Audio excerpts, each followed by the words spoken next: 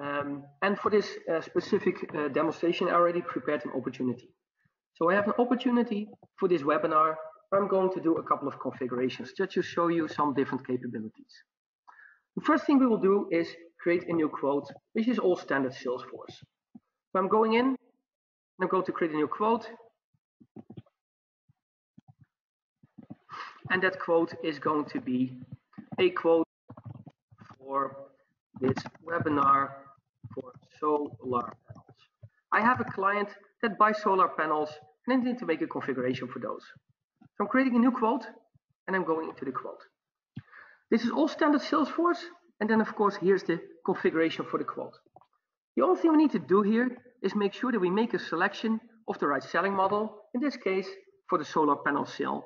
And at this point, eCon will launch the questionnaire that will be applied to this specific sales scenario. Now, of course, we're going to give this quote a name. Uh, we're going to say solar panel sales, and of course, it remembers my previous input. And the first thing I'm going to do here is indicate how much power I use in peak and in low hours. Now, I know based on this, I will need probably 50 panels to facilitate this need.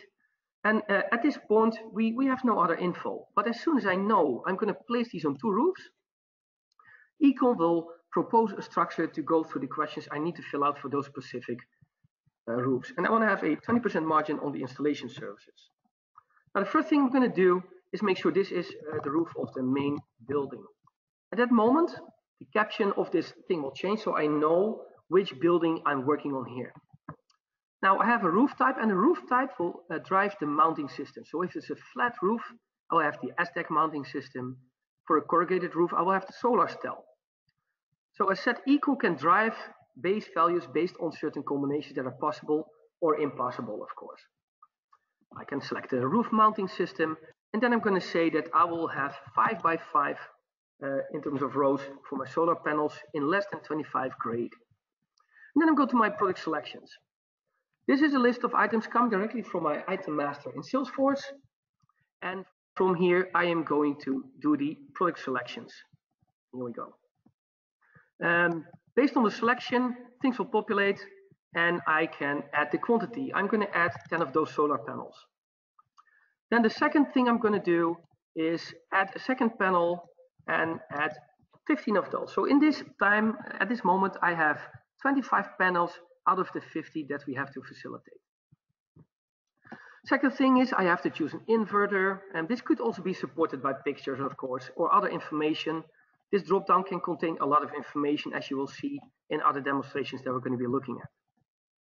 Then we have uh, an installation cable we're going to need, and maybe we also have a monitor, the SolarLog 100, and we're going to use one of those. eCon will, in the time, track um, if I am done, and in this case, I am not done because I have 50 panels to choose and I only have 25, so I cannot save this configuration back yet. What we're going to do is go to the second building and say second building, and uh, what we're going to do here is add 5 by 5 rows again um, in more than a 25 uh, grade, and we're going to add these panels and we're going to add 25 we're going to also add an inverter again, uh, or maybe actually two, why not? No, we're going to add two inverters here. And in the meantime, we're going to add some installation cable, which could be sold in different units of measures, by the way. We're going to add a monitor, one of them.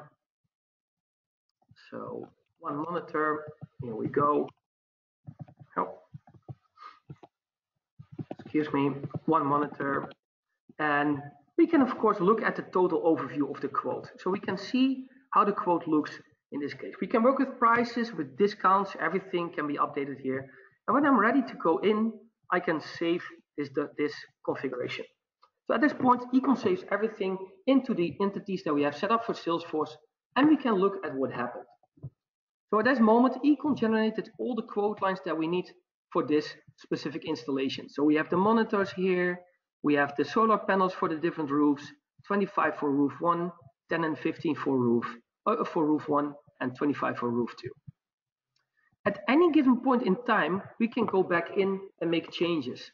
So let's say the client says, hey, I don't think there's going to be enough. We could add 10 panels.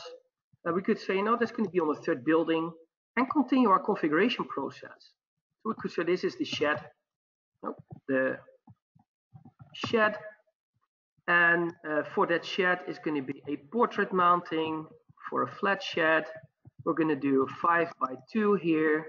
Uh, it's a less than 25 grade roof, and we're going to add Uh, 10 panels. And we're not going to add anything else for this.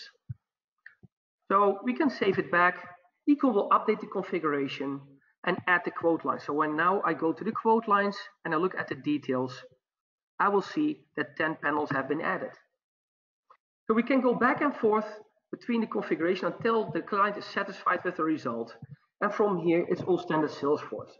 So I can create my documents. Know, I can use this with standard Salesforce. I could use DocuSign, Conga, you know, any, any document generation tool you want to. We also have our own, so that's a choice you can make. And for me, it's all standard Salesforce for approvals for everything.